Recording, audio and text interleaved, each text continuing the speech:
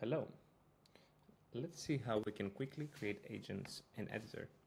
Here on the Agents tab, we see our agents on the left. We can come and press the plus button and select the type of agent that we want to create. Let's create a text agent.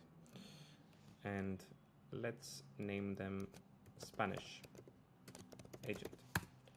This agent will transform the article in Spanish. We come here, we alter the initial prompt. We say rewrite the article in Spanish and the return format we, can, we tell them return only the article or we can get rid of the return format and tell it to give me only the article and nothing else. We press save and let's see the Spanish agent in action.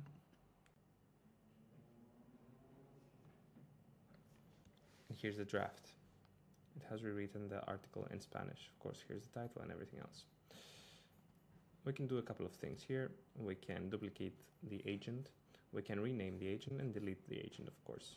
Let's actually rename the agent to Spanish text agent.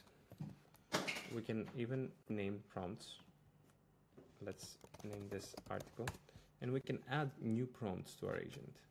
Name to our prompt, for example. We'll say titles and descriptions. And we'll give it task here to give us five titles and descriptions in Spanish. And in the return format, we will tell it description one. Description etc and titles title 1 title 2 etc and press save. Next time we run we run this agent you will see in the draft section that it will draft both article and titles and descriptions Okay, nice. We see the descriptions and titles here that we can potentially put in our reproduction.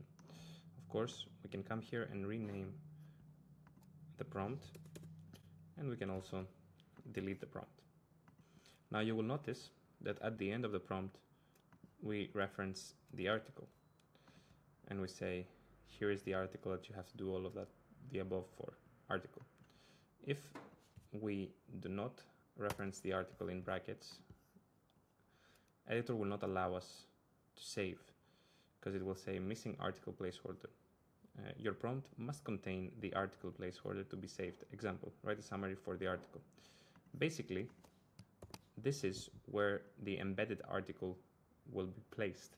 So everything that the whole article here, the whole copy will be placed inside this placeholder here. So basically you're creating a prompt like that. Now let's see how to create a media agent. Here we come and we say media agent and we can choose from the media agents that other people have created templates. Uh, there are a couple of templates, some for Instagram stories, some for Instagram posts, or we can create our own, our own new template where we have a detailed guide on how to create your own template uh, and we will link that guide in the description below. But for now, let's choose an already existing template and press create. You see here, it will create a media agent with its own name, media agent 3. Uh, let's not, we can of course rename, duplicate and delete here. And it will also create prompts for the media agent. Now you see here, there's a prompt called main picture. There in the subheader. Let's see them in action. So this is the prompt for the hashtag. This is the prompt for the header, subheader, and this is the image. Here, I can change and add my own logo.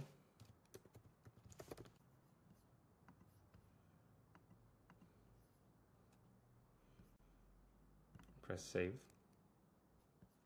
And let's see this media agent in action.